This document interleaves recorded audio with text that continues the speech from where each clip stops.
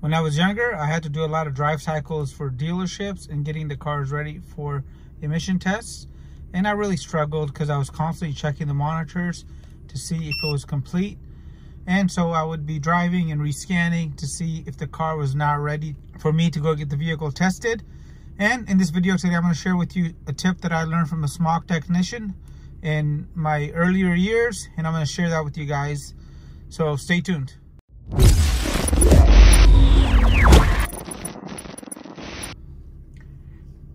Hey everybody, welcome back to Random Fix. So this review is going to be about scan tools that actually auto refresh on their own, which means when you're doing a drive cycle, you don't have to go and refresh to see if the status of the monitor has changed. And there's not a lot of tools that allow you to do this that are under $30.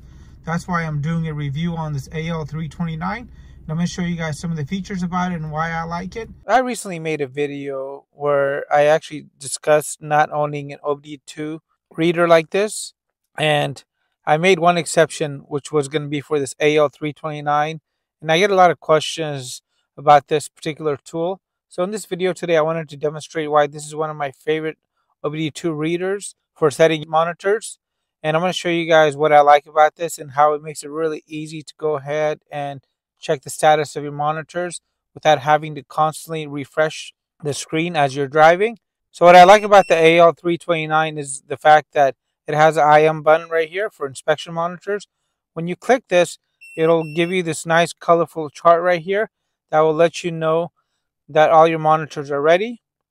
And if you guys hear that beep, every time that beep occurs, it's doing a, a refresh and it's checking the monitors again to see if they're ready. So I like this a lot.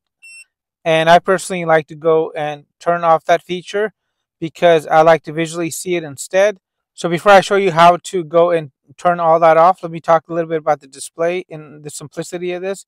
So there's only four options on here. We have the OBD2 function, and this will work on any vehicle 1996 and newer. Ready test, which is basically going to be the IM monitor button right here. We have a setup and we have an about section. So let's go to setup here. And in here we can configure languages, units. I like to go down to right here where it says status beep and turn this off.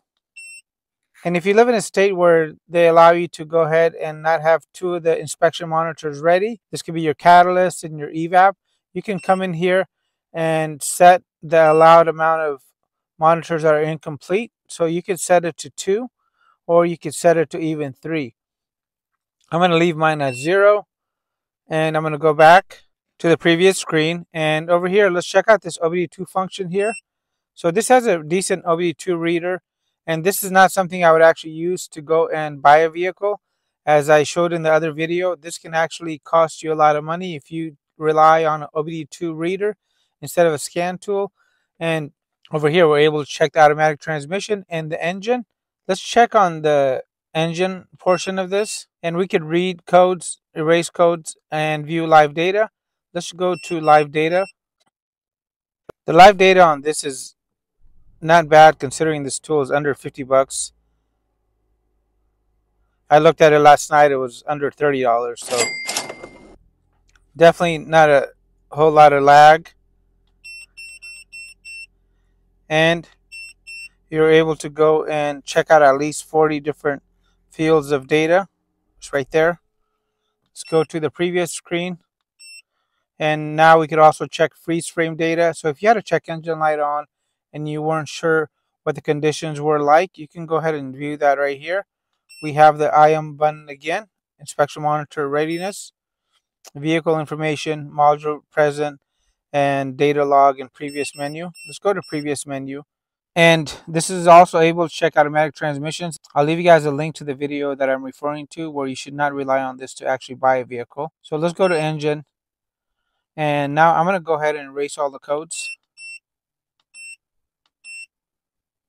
And now that all the codes are being erased, you'll notice that the green check mark turned into a yellow exclamation mark.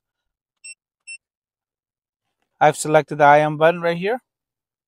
Now that we have erased all the drive monitor data, you'll notice that all the monitors are incomplete. And if you're struggling with a particular monitor that is not setting on your vehicle, such as the catalyst or the oxygen sensor, I have a whole bunch of videos on how you can go ahead and complete a drive cycle. I'll leave you guys links in the video description and also at the end of this video. And what I like to do as I'm driving is take the AL329 and place it somewhere I can actually easily see it.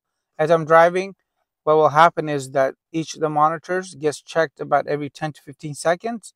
And as soon as I get a green check mark on that particular monitor, I will go ahead and move on to the next monitor.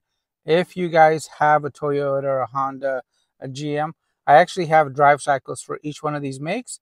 And with the AL329 and those drive cycle videos, you're going to be able to go and get your drive cycle completed in no time. And I have a lot of helpful tips.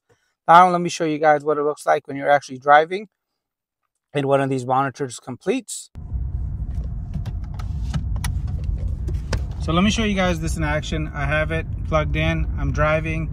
If you want to have the beep on, you can have the beep on. And as you're driving, what we'll do is we'll go through and rescan automatically about every 10 seconds. And when a monitor becomes complete, it will go through and turn green from red and you then know you are good. You can also see that my permanent diagnostic codes have already cleared up so this makes monitoring all that information very, very easy and it's visually satisfying when you can just look down and see a green check mark to let you know that you're ready and it's very affordable.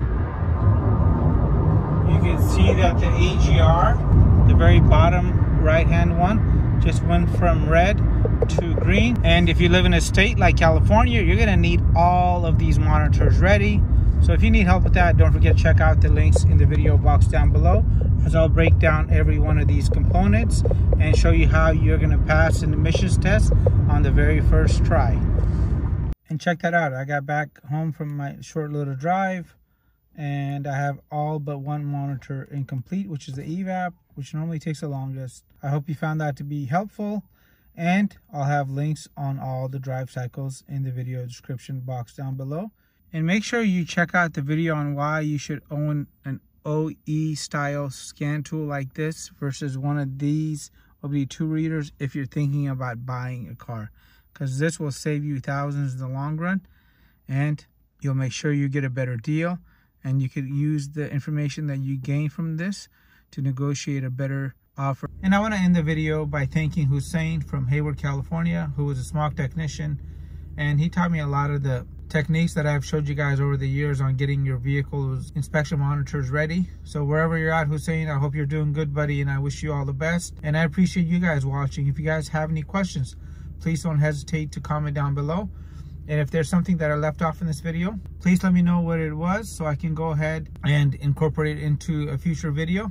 Thank you so much, and I'll leave you guys links at the end of this video that you can click on if you guys want to learn more about this AL329 and also in the video description box down below.